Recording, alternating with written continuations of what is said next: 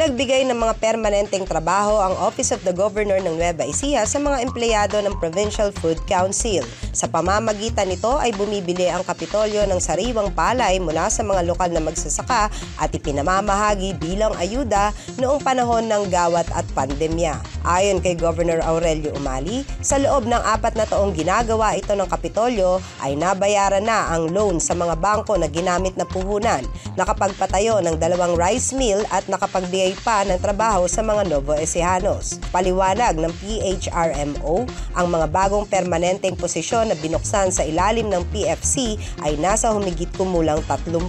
Kabilang umano ang administrative positions, habang ang mga classifiers at checkers ay dati ng mga regular employees na inilipat para magsilbi sa Provincial Food Council. Kumbaga po, nung doon ako sa labas, yung dapat ko eh hindi kaya. Nung napasok po ako dito, nabibili ko na po. Kasi po, ito po, hindi mo na iniisip kung saan ka kukuha buwan-buwan ng pera. Kasi po ito, tuloy-tuloy po ang sahod. Ito po yung napakalaking naging tulong sa akin. Ah, naging malaki po pagkakaiba ng buhay ko dati. Dahil sa mga truck na ginagamit sa pamimili ng palay at pamamahagi ng bigas, karamihan sa binuksang posisyon ang para sa mga driver.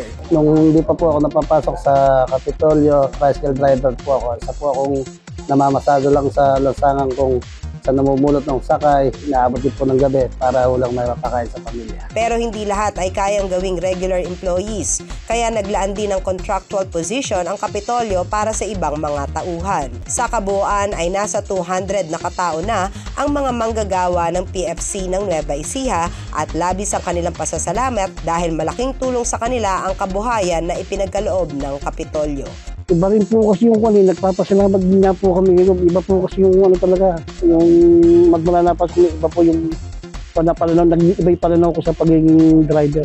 Magmula po nang napasok ko rito. Ang driver pala, hindi lang basta driver.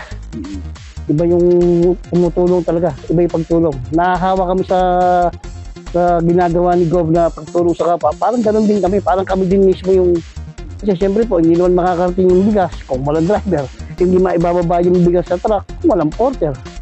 Kaya parang kami rin yung kasarap, sarap na feeling. Ako po ang inyong kaibigan Clarissa de Guzman para sa Balitang Unang Sigaw.